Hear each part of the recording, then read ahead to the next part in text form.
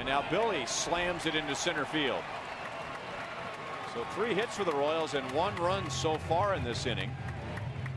And the Royals have two on with just one out.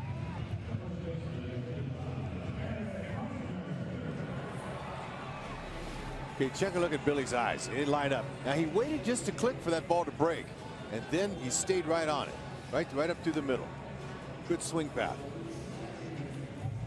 See, when that front foot goes down and it's an off-speed pitch, you try to time that front foot usually for a fastball, but when that happens, you got to keep the hands back.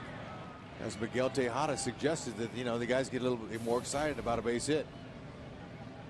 Some guys have a planned one and some guys just kind of make it up. He didn't even know what to do then, Billy. so they're all doing something now. And that, that last one, he kind of pointed upward.